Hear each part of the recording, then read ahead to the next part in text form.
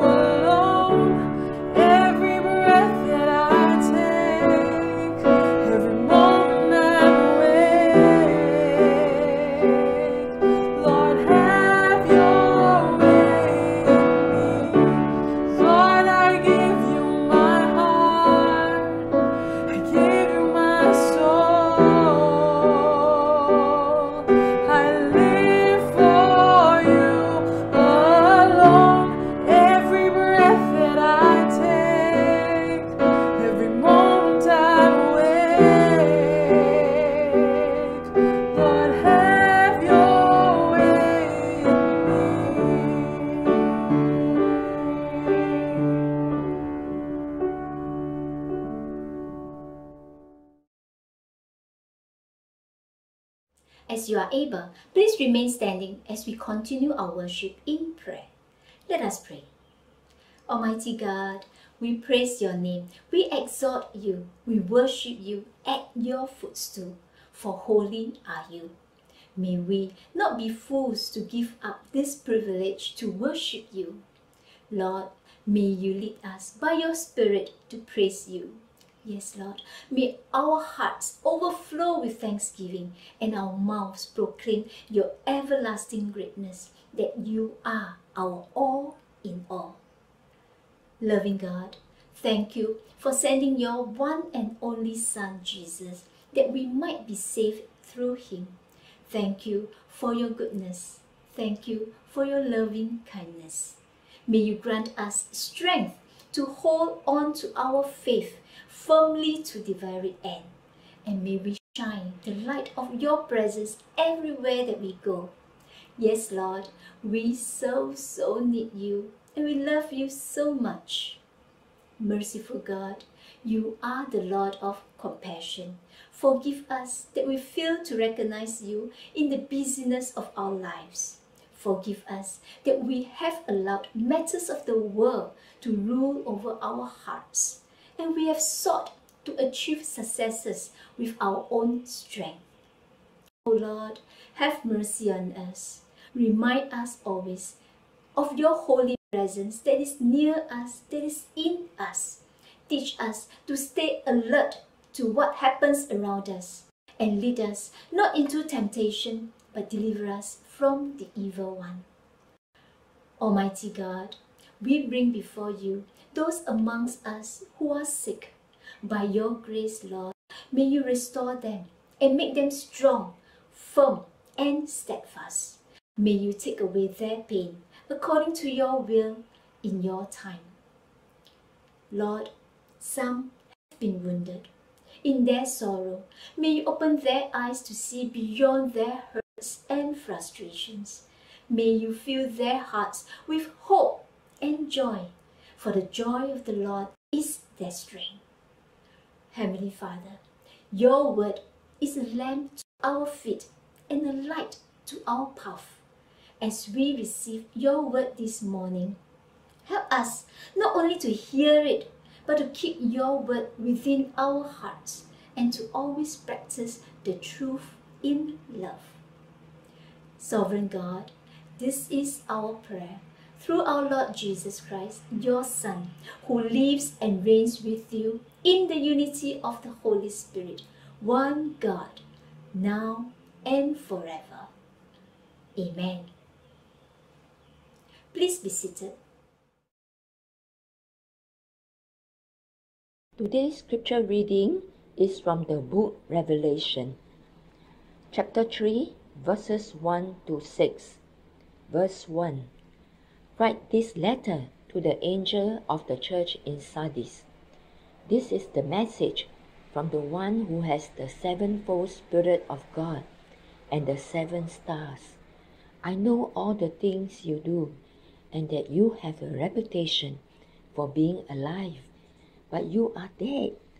Wake up, strengthen what little remains, for even what is left is almost dead. I find that your actions do not meet the requirements of my God. Go back to what you heard and believe at first. Hold to it firmly. Repent and turn to me again. If you don't wake up, I will come to you suddenly, as unexpected as a thief. Yet there are some in the church in Sardis who have not soiled their clothes with evil. They will walk with me in white, for they are worthy. All who are victorious will be clothed in white.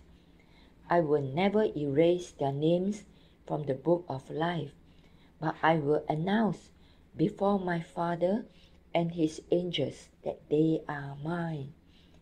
Anyone with ears to hear must listen to the Spirit and understand what he is saying to the churches. This is the word of the Lord.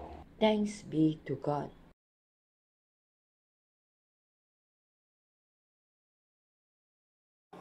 Let us pray. May the words of my mouth and the meditations of our hearts be acceptable in your sight, O Lord, our rock and redeemer. Amen. Good morning. Now, there is a story about a married couple. They had a quarrel and ended up giving each other the silent treatment. And two days into their mute argument, the man realized that he needed his wife's help. So, in order to catch a flight to Chicago for a business meeting, he had to get up at 5 a.m. So, not wanting to be the first to break the silence, he wrote on a piece of paper, Please wake me at 5 a.m. The next morning, the man woke up only to discover that his wife was already out of bed. And it was 9 a.m. Of course, his flight would have long since departed. He was about to find his wife and demand an answer for all these failings of hers when he noticed a piece of paper by the bed. He read, It's 5 a.m.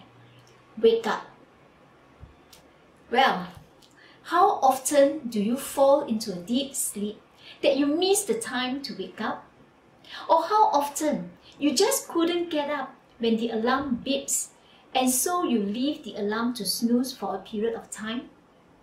In fact, after spending many hours at work or in school, what is the first thing that you would want to do? It is quite common to hear someone saying, I just want to sleep. Now, scientists' research shows that we need to sleep because sleep powers the mind, it restores the body, and it fortifies virtually every system in the body. So we are like the battery that needs to be charged, that needs to be recharged by sleeping.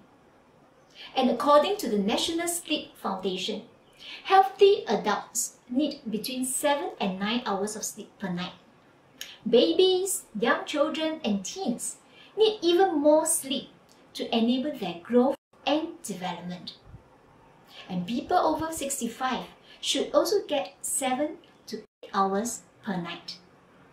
Well, sleep indeed is essential and good for us.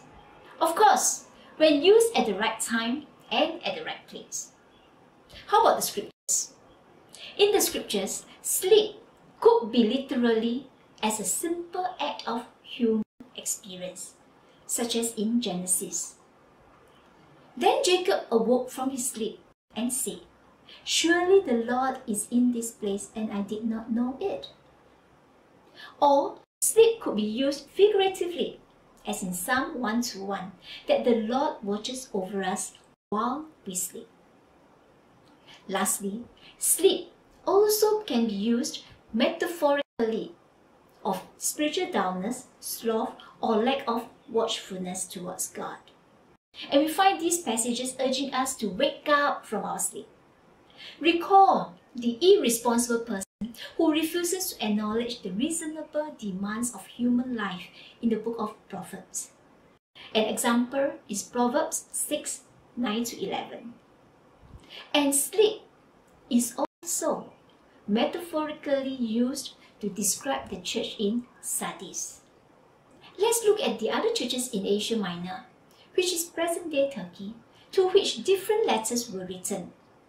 We have Ephesus, the forgetful church, Smyrna, the suffering church, Pergamon, the compromising church, Thyatira, the tolerant church, and now Sardis, the slumbering or sleeping church. What does that mean? Now, a little background will be useful. So Sardis was the capital of the kingdom of Lydia, located on a number of important trade routes. Sardis was a wealthy city. It was made prosperous when gold was found, as well as the availability of products such as fruits and wool. Although Sardis boasted a massive temple dedicated to the pagan goddess, the city was the first city in that part of the world that was converted by the preaching of John. And according to archaeologists, their place of worship, the synagogue, was the largest known ancient synagogue in Sardis. Yet, history also reveals that over time, towards the end of the first century, there started to have deviations from the teachings of Christ amongst the believers. And idolatry was heavily in existence then. So that brings us to the purpose of the letter. Jesus reveals the situation in Sardis and her people, and then he gives warnings and commands to stay alert and repent. And he ends with a promise to those who remain faithful. All with the purpose to warn, to encourage the people.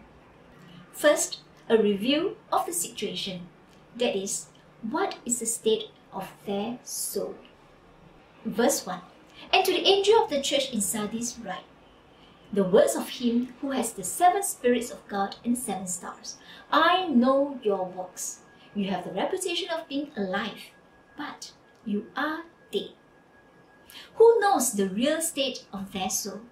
None other but Christ, who knows the people well, their deeds, their thoughts, and all their works. And he understands every aspect of their lives past, present, and future. The church may have the truth. She may have the doctrines correct. She has won a name for herself, and she has gained a great reputation of being alive. Everything appears well and healthy. But in reality, the church is not really what it is reputed to be. The believers appear to have life, but they have almost forgotten who they are. They are in a devastating state inwardly, to the extent of being identified as spiritually dead. Spiritually dead in their soul and services, in their spirit, in their praying, even in their preaching for the ministers. So the situation is that spiritually, the church and her believers are dead men walking. Their dead works indicate a lack of living faith, as James tells us in the Scripture. So, also, faith by itself, if it does not have work, is dead. But someone will say, You have faith, and I have works. Show me your faith apart from your works, and I will show you my faith by my works. You believe that God is one. You do well. Even the demons believe and shudder. Do you want to be shown, you foolish person, that faith apart from work is useless? Now, friends, let's look at ourselves now. Christ knows our needs. Christ knows our deeds. Christ also knows whether we are half hearted or not. And Christ knows whether we are alive or dead. Therefore, what is the right reputation that we should have to be alive? And scripture teaches us to seek a good reputation with God and men, and not to boast to improve our own reputation, not to seek a good reputation through outward show, and that is hypocrisy. For outward reputation cannot compare with a righteous heart. And scripture teaches us to be aware that serving God may lead to a bad reputation with unbelievers. So obviously, we as believers, we should strive for good reputation, like Daniel in the Old Testament or the centurion in the New Testament. Now, John Wesley, he created a structure known as the class meeting. So in groups of 10 to 12, members practice accountability for one another's faith walk. So each week, when the members met, each of them would answer the question, How is it with your soul? So the review of the situation for the church in Sardis is also a review of our situation. So friends, how is it with your soul today? Having done a review of the situation, Jesus then turned to warn believers to awake from their sleep or spiritual death. Wake up and strengthen what remains and is about to die. For I have not found your works complete in the sight of my God. In the scripture, the call to wake up is repeated in several places. One is found in 1 Thessalonians chapter 5. So be on your guard, not asleep like others. Stay alert, and be clear headed. And another one in Romans 13. Besides this, you know the time, that the hour has come for you to wake from sleep. For salvation is nearer to us now than when we first believed. Well, just to name a few. Wake up, it means to be on the alert, to be clear headed, to be sober. That is a command to action, a command to come into a new state of being. So, friends, we can say that the believers at Sardis, they are not wholly destitute of life. They are encouraged to wake up and change their ways before it is too late. And for us 21st century Christians, we are also warned against neglect of watchfulness. What are the dangers that we should be watchful? These include the danger of false teaching, temptation, neglecting the word of God, the danger of damage to the Lord's work, and the danger of speaking sinfully. And in addition, we should be watchful for blessings, the return of Jesus Christ, and opportunities to serve the Lord. So let us stay alert and come to a state that is pleasing to God. What next then? An action to strengthen what remains and is about to die. Strengthen is to make fast, fix firmly, to make more marked by firm determination or resolution. So just as bodily strength improves by exercising, so does the strength of the soul. The believers, including you and me, we are urged to improve those gifts and good habits that are faint, that are ready to die, if they are not attended to. For example, we need to hear and the heart to take action. We need to strengthen our faith. We need to strengthen our hope, which is the anchor of our soul, which keeps us steadfast in all situations. And we need to strengthen our love that carries us forward with zeal and delight. So when faith, hope, and love decline, we lose all our fervor in the spiritual disciplines. We become lethargic, and ministry becomes a chore or even a burden. Friends, are you working into a new state of your life now so that what is left does not die but strengthen? Be watchful so that you do not drift away from God. Be watchful lest you become proud and strengthen your soul so that you do not sleepwalk in your Christian life. Indeed, we should be comforted always that God does not slumber. He will not let your foot be moved. He who keeps you will not slumber. In Psalms 1 to 1. Behold, he who keeps Israel will neither slumber nor sleep. And I will not give sleep to my eyes or slumber to my eyelids.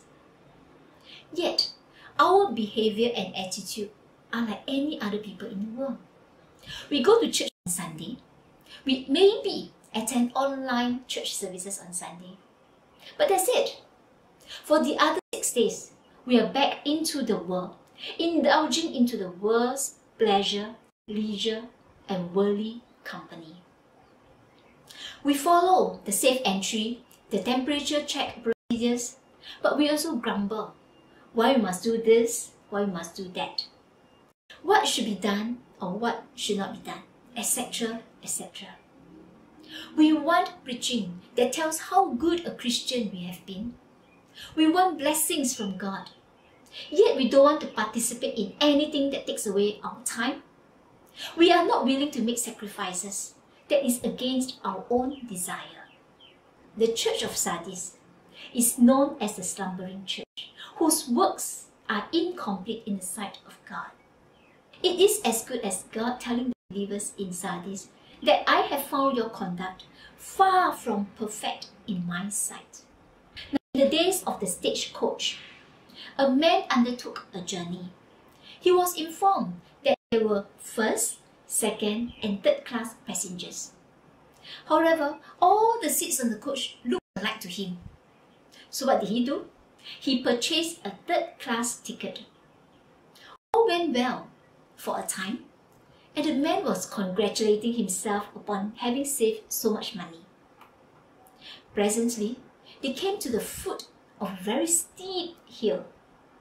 The driver stopped the horses and shouted, First class passengers, keep your seats. Second class passengers, get out and walk. Third class, get out and push behind. Wow, what we need in the kingdom work is third class passengers, those who will push, not first class, who are contented to sit and look on while the others are working, not second class passengers who are willing to walk away when real work comes, but third class passengers who are willing to bear the burden and the heat of the day. Friends, what class passenger are you? Do your actions meet the requirements of God?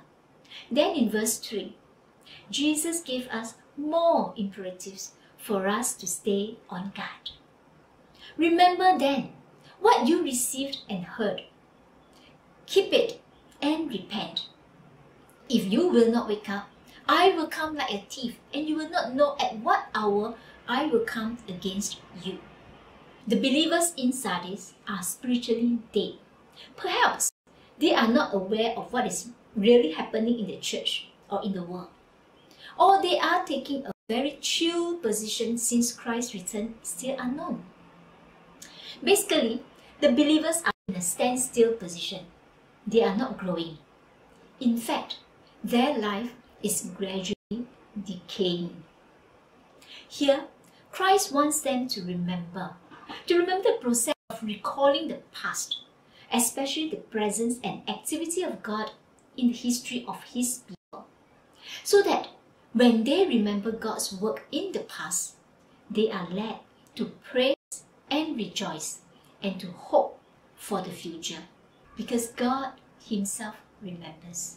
God remembers His covenant, His promises, His people, and God remember our sins no more. Friends, how about you? Do you remember the goodness of God in your life? We are to remember that we are God's people. We are to remember God's acts in the past, God's wrath, God's commands, our responsibilities towards one another. We are to remember the death of Jesus Christ. And we are to remember how our lives have been transformed. Yes, we are to keep it, to observe, to conform our actions and practices. And we are to hold fast to our faith. Friends, we are to keep a life of obedience with a desire to learn, unwillingness to receive this truth leads to spiritual darkness. So is there an urgency to obey these commands? Yes. According to Eugene Peterson in the message, the condition is desperate. If you are still oblivious to God, Jesus will return when you least expect it. Break into your life like a thief in the night. Jesus Christ will return in glory at the end of history to raise the dead, to judge the world, to destroy all evil and opposition to God and consummate his kingdom. Believers like you and me, we are encouraged to be always ready for his return and wait with anticipation because it will happen unexpectedly. So, friends, are you ready? Or are you still sleeping? Come on, let us wake up.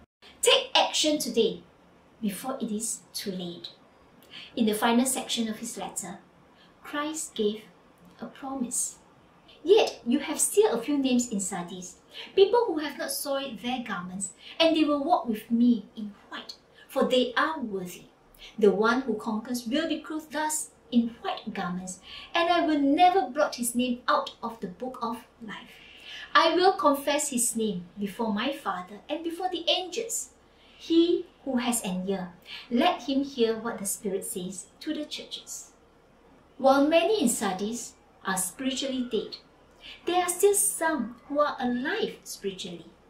Their reward is that they will walk with God in white, which symbolize purity and acceptance before God. Reason being, they are worthy. Now, friends, are we included in the promise? Yes, when we do good deeds. It is not about earning merit points from God. Instead, it is about doing what is pleasing to and acceptable by God. For only God truly merits honor and praise, but He graciously considers those who humbly serve Him with wholehearted devotion to be worthy disciples. Friends, are you considered worthy by others? Or are you considered worthy by God? In fact, worthiness, like righteousness, is credited to a person by God. With this in mind, we constantly pray for you that our God may make you worthy of His calling and that by His power He may bring to fruition your every desire for goodness and your every deed prompted by faith. So, who are considered worthy by God? Those who put God first and deny themselves. Those who suffer persecution for the sake of Jesus Christ. Those who stand firm for the gospel. Those who are faithful in the use of resources which God has given them. Those who welcome God's people. And in today's passage, those whose lives show Christ like godliness. Here are two characters in the scripture who can be deemed worthy Noah and Caleb. And yes, we share in Christ's victory by faith. The vision of the final victory is in Christ Jesus. We are not only conquerors, but we are also citizens of the heavenly Jerusalem. Our names are written as citizens of heaven in the book of life and will not be blotted out of the book of life. Another metaphor for eternal life. What's more, Jesus will acknowledge us before his Father God, before the holy angels. Friends, so are you ready to receive this promise? The church in Sardis was a slumbering church because the believers were turning away from God. Their souls were spiritually dead. But God, who loved them so much that He gave them warnings and commands to help bring them back from death. They were to wake up and repent or face the serious consequences from God. Then they would enjoy the promise of God as citizens of heaven. Friends, as we draw near the end of 2020, here is a challenge for each one of us. Well, you can call it a review or a reflection. Would you help yourself or one another to do a check if your soul is in the right state? Or do you, like the church in Sardis, have the reputation of being alive but are dead?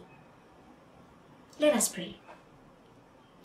Almighty God, we thank you that you are always ready to pull us out of darkness to the light. Help us to be watchful always of what is around us. May all of us in the community of faith in FMC watch over one another that we will not take things in life for granted. Lord, it's really easy to get lost in all the demands of life. We become restless. We start to lose connection with church, with you. Lord, may we not fall into slumber. Instead, may we grow to be worthy followers of Christ. Guide us, Lord, with us. In Jesus' name we pray. Amen.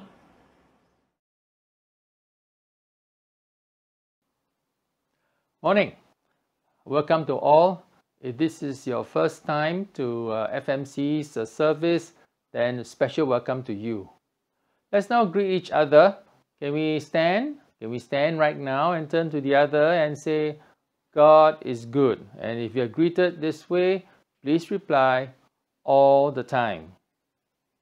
God is good all the time. Please be seated. So now, while seated, text these words to another uh, brother or sister in Christ. Text them and say, God is good. And if you're receiving this, likewise, you text back all the time. God is good all the time.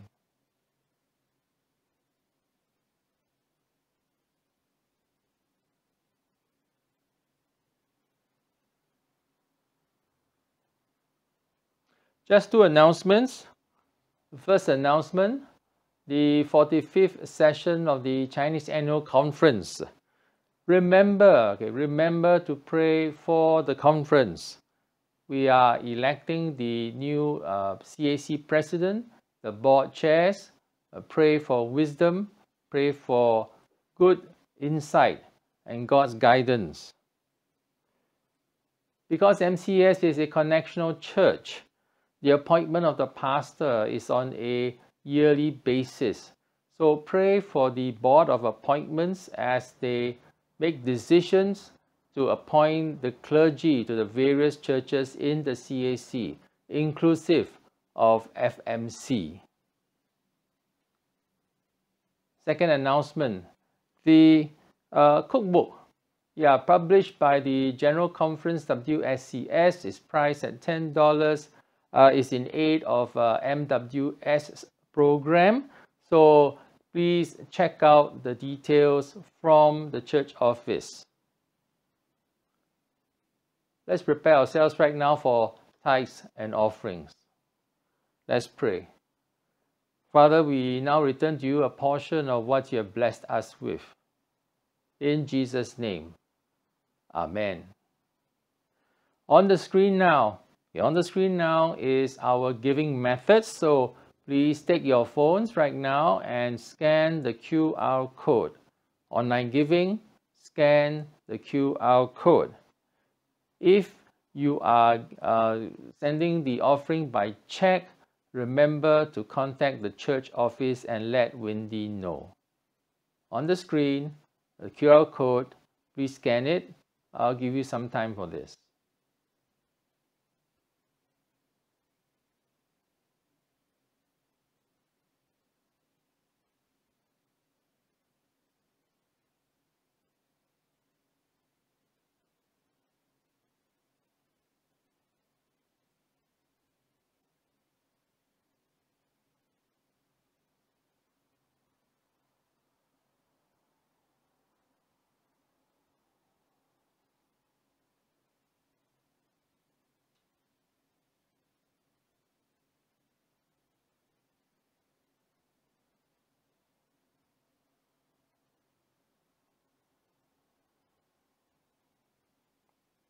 The same screen will appear at the end of the service if you need more time for this. Let's now stand for the doxology. Let's stand.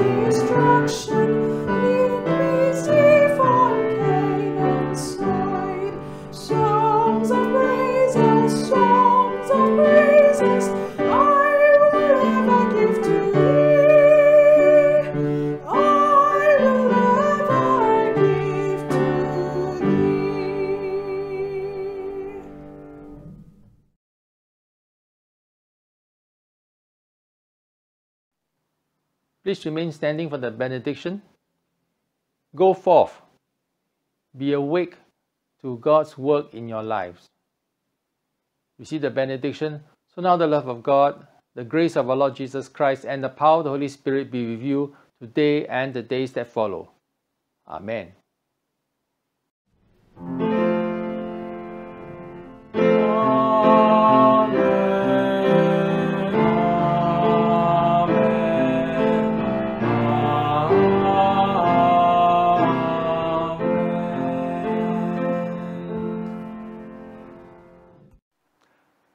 Be seated.